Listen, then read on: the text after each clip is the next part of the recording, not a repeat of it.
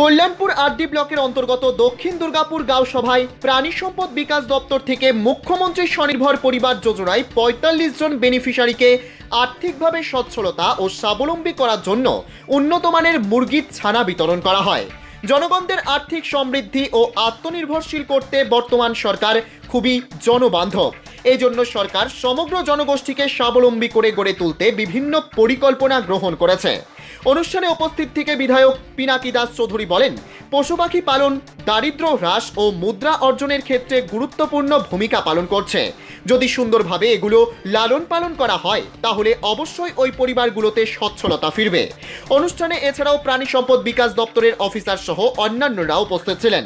শুধু এই পঞ্চায়েত নয় কল্যাণপুর ব্লকের সবকটি গ্রাম পঞ্চায়েত এবং এডিসি ভিলেজ যে গরিব মানুষদের স্বয়ংবর বা স্বনির্ভর করার লক্ষ্যে প্রাণী সম্পদ বিকাশ দপ্তর থেকে এই পরিকল্পনা গ্রহণ করা হয়েছে। স্বাভাবিকভাবেই যারা এই সহায়তা পেয়েছেন সবাই বেজায় খুশি। শুধু এই প্রকল্প নয়, রাজ্য সরকারের বিভিন্ন দপ্তর থেকে বিভিন্ন পরিকল্পনা গ্রহণ করা হচ্ছে মানুষকে স্বনির্ভর করার লক্ষ্যে।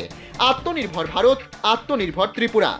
পশু পাখি পালনের মাধ্যমে দারিদ্রতা হ্রাস ও মুদ্রা অর্জনের ক্ষেত্রে গুরুত্বপূর্ণ ভূমিকা পালন করছে। যারা পেয়েছেন এমন উপকৃতরা সুন্দরভাবে এগুলো লালন পালন করা হলে, তাহলে অবশ্যই ওই পরিবারগুলোতে সচ্ছলতা ফিরবে। অনুষ্ঠানকে ঘিরে দক্ষিণ দুর্গাপুর এলাকার মানুষদের মধ্যে ব্যাপক সাড়া পরিলক্ষিত হয়। স্থানীয় পঞ্চায়েতের কর্মকর্তারা অনুষ্ঠানে উপস্থিত ছিলেন। কল্যাণপুর থেকে নিজস্ব প্রতিবেদন, দুরন্ত টিভি।